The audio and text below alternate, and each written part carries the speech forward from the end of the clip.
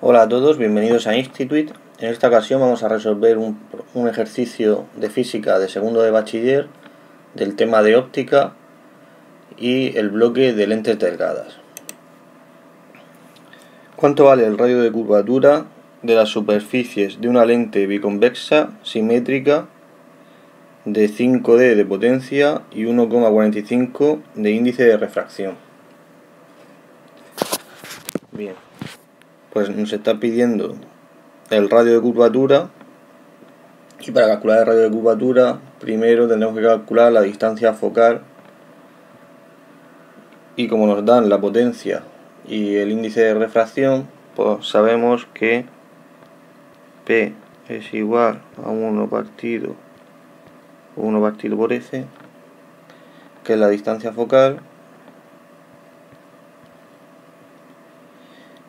y de aquí podemos despejar la distancia que es 1 partido por P que es 1 partido por 5D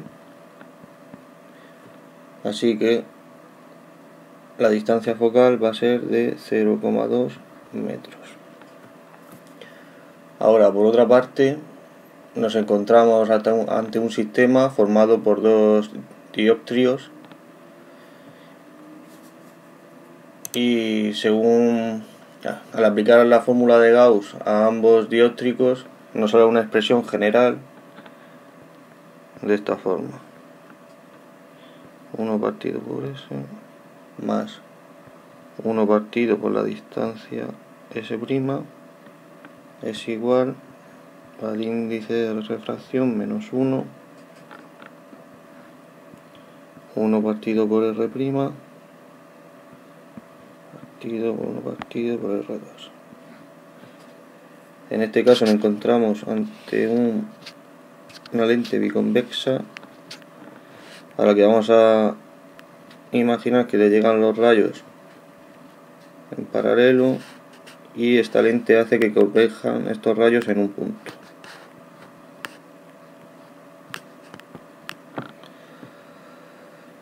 Así que teniendo este planteamiento diríamos que la S va a ser igual a infinito la S es la distancia que queda a la izquierda hasta el punto de foco y a la derecha tendríamos que S' va a ser igual a F', que es la que acabamos de calcular. Entonces esta fórmula general nos queda particularizada 1 partido por infinito, menos 1 partido por infinito sería 0 y nos quedaría 1 partido por f' y el término de la derecha continuaría siendo el mismo.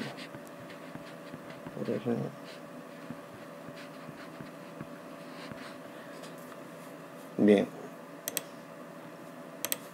Pues ahora lo único que tendríamos que hacer es tener también en cuenta que al ser una lente simétrica el radio de curvatura 1 de la lente que está a la izquierda, de la parte de la lente que está a la izquierda, tiene que ser igual a menos R2. Aquí tendríamos R1 y aquí R2. Y esto es igual a R, que es lo que queremos calcular. Así que la ecuación anterior vamos a sustituir valores y despejar la R. Por un lado tenemos que el índice de refracción es 1,45 menos 1 multiplicado por 1 partido por R, que es la incógnita, y menos 1 partido por menos R. Y esto tiene que ser igual a 1 partido por 20 centímetros.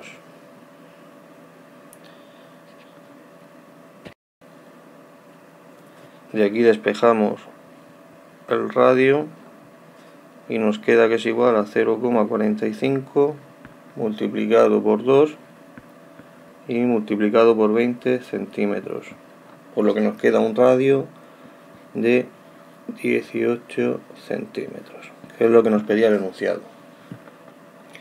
Bien, pues con esto hemos acabado el ejercicio. Ya sabes que puedes guardarlo y compartirlo en tu cuenta y crear apuntes. Muchas gracias y sabes que tienes más ejemplos en Institute.